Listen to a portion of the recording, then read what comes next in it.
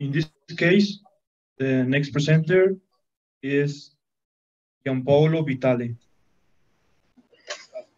Yes, I'm here.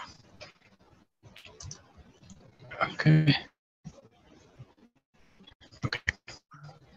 Good morning.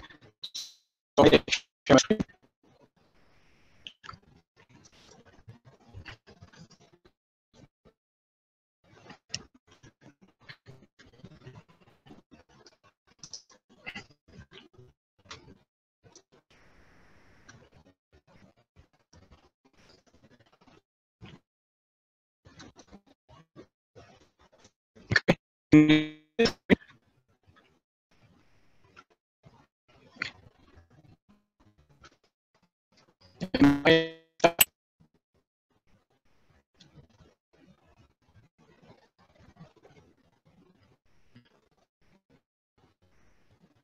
can see you, but I think that we have problems with the audio.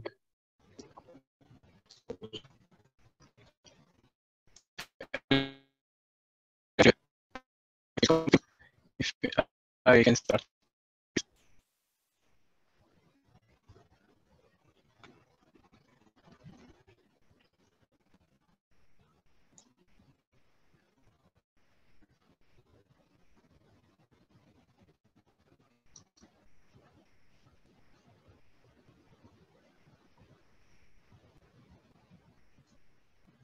So, uh, can you hear me? Yes, very well.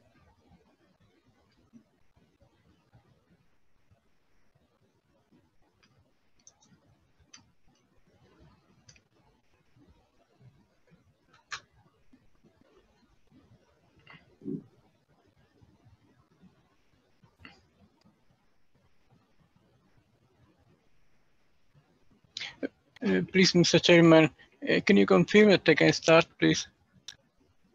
Yes, you can start. Okay, thank you.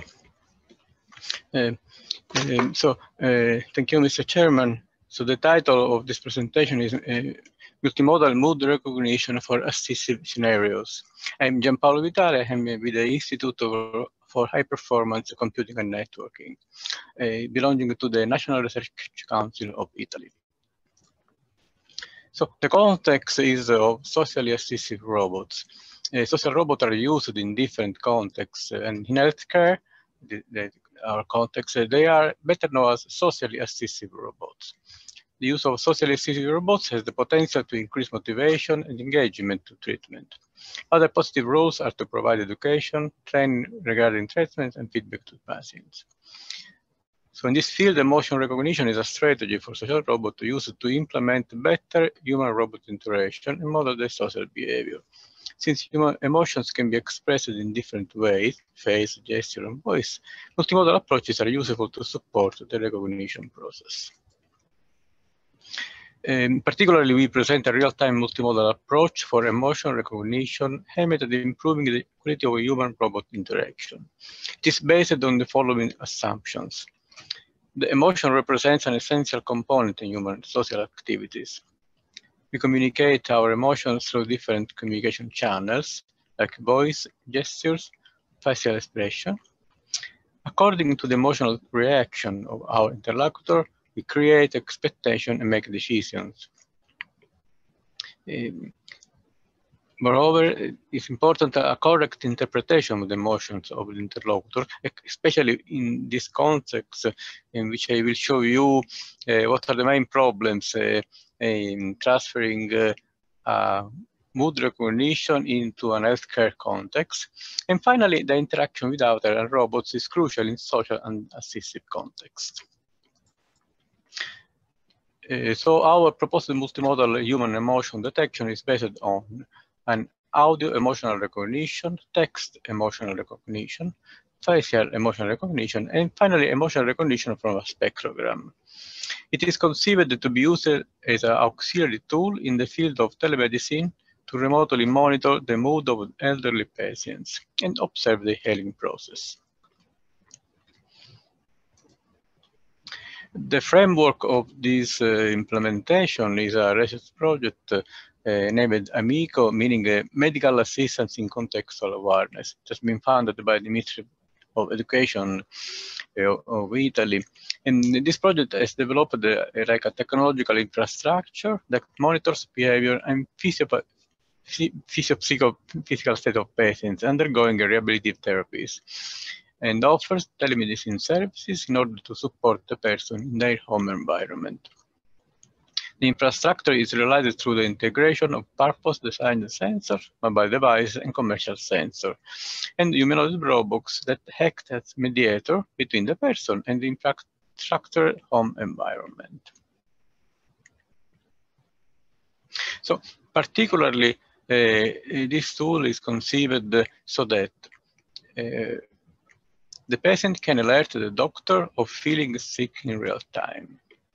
And um, second issue is the doctor can understand the patient trust. It is important, um, like in our experience, uh, it is important that uh, especially for case uh, in case of elderly people, uh, really a, a trust uh, is recognizable between uh, people and robots. It's not an easy task.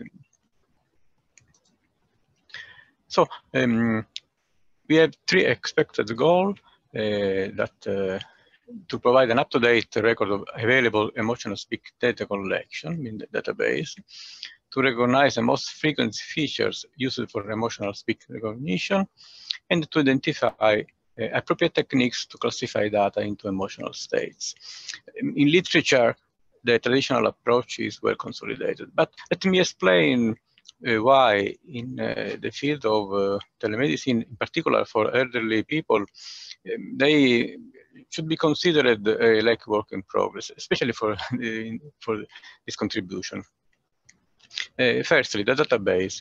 A database is um, used for our application is uh, um, there are two, two databases um, taken from internet uh, available database, but um, they are uh, registered by uh, professional actors uh, usually they are very young people, so that uh, their face, their expression is uh, recognizable. In case of elderly people, it's not so easy. So um, in our experience, uh, um, it's not the expression of the, the voice are not so uh, well classified by um, using this kind of database.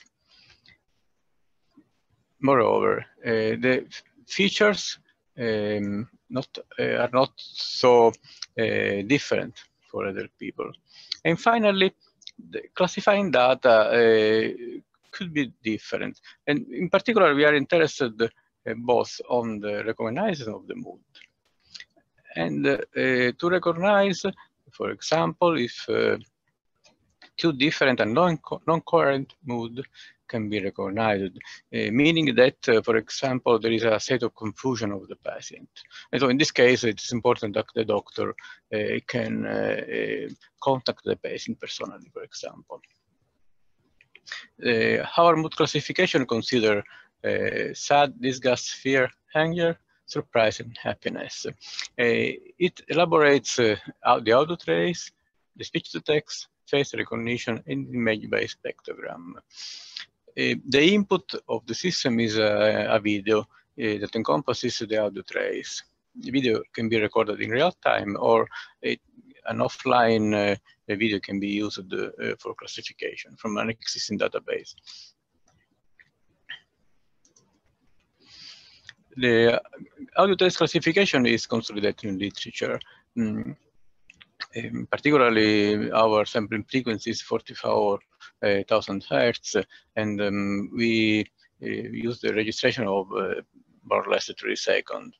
Um, it is implemented by Python library, and it is based on the consideration that uh, depending on the gender, uh, we can recognize different parameters of the signal, in particular considering pitch, intensity, and timing. In addition, uh, fast frequency transform is uh, calculated considering the main frequency and amplitude of the signal.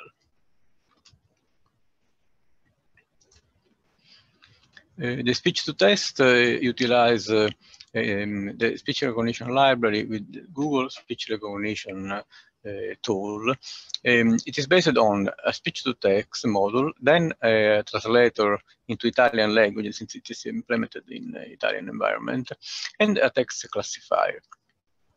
Particularly text to emotion was trained with a dictionary of words classified with emotion, and then the mood is obtained.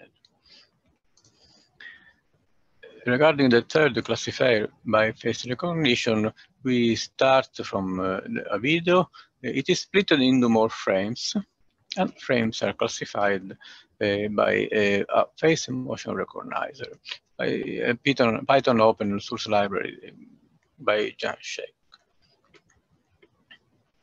And finally, we considered also the spectrogram image, meaning the representation of the frequency of the signal during time.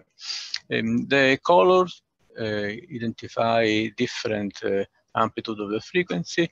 Uh, so we can see that uh, corresponding to a mood, different mood, we uh, can see a different image. So uh, they can classify the like images.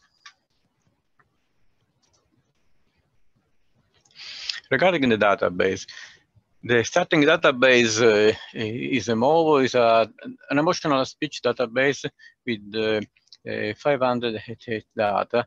Um, registered by six professional actors.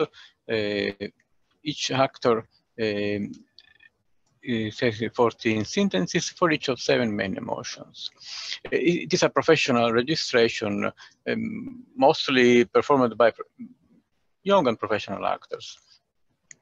Uh, we had an, uh, another database, uh, the Zenodo database, and we mixed for test uh, videos with other taken by non-professional actors registered in our laboratory. The um, classify classification of uh, the mood is performed on uh, decision tree, particular, uh, for example, to detect the main uh, mood, we check if emotion 1 is equal to emotion 2 and 3 and so on. So that based on this comparison, the emotion is detected, main emotion is detected. The other implementation uh, is devised on uh, Jetson Nano devices our target is to implement a chip uh, device that can be interfaced, for example, a robot like a Pepper or other. In, in any case, uh, all software is implemented uh, on uh, the Jetson device, uh, and it, it, can be used uh, both for acquire real-time videos or used to register video in offline. Um, about the results, um, I start with the um, results coming from traditional monomodal, monomodal mood recognition. Uh, we can see that best results are given by face-based prediction and text-based prediction. Um, the accuracy evaluation gives about 54% uh, and 57% for the last two results. Um, they are influenced by the database. But um, another classification is possible. For example, let's compare uh, these results. So let's suppose that uh, starting from the same uh, files and video, uh, we obtain uh, by face-based prediction uh, disgust and um, sadness from text-based prediction. And they can be classified like coherent results, so meaning that we can identify, in any case, the patient's mood. Differently, for example, uh, if starting from another video, we obtain uh, disgust and happiness, it is a non-coherent result. In this case, it's possible that, for example, the patient is not honest with the, with the doctor, or, or, or there is a, um, a confusional state. So when they seem um, different results, but uh, this kind of classification give, uh, gives us uh, further information on the patient. Um, the same consideration can be performed on the multimodal recognition. So by uh, the Zenodo database, uh, it is another database, um, considering 14 visas, it's not a high number, it's a preliminary results. Uh, we obtain 60% of accuracy. Um, also in this case, we can make some consideration on the coherency of data. For example, considering that uh, uh, happiness and sadness are non-coherent data, or differently, even if surprise is not well identified, but with neutral expression, especially in our experience for elderly people, it is possible that it is a, a coherent date. Um, using non-professional volunteers, of course, uh, the accuracy is worsened. But also in this case, a different classification uh, can be performed considering current date. For example, surprise is coherent with happiness, um, or, or with neutral and so on. So, um, so the main problem is uh, to improve data classification to extract uh, more information from them. So, um, just to conclude uh, this consideration. So a multimodal mood recognition system has been implemented and tested by data from professional and non-professional actors. The system is devised as a tool to recognize the patient moods in clinical remote applications. The system is conceived to be implemented in a cheap hardware like Jetson Nano and interfaced with a robot like Pepper. Non-coherent mood results could be useful for the doctor. Uh, there are many possible improvements uh, in this system. Uh, so future, future works will concern Firstly, to improve the database by increasing the number of non-professional actors. Uh, to test the system in real operating conditions, it is very difficult to retrieve uh, reliable data in operating conditions from patients. And finally, uh, could be useful to add the physiological signal, for example, heartbeat rate or blood pressure. The literature uh, shows that uh, in general, the reliability of the classification is improved in this sense. So this is all. Uh, thank you for your kind attention. Uh, if you have any, any question, uh, you're welcome.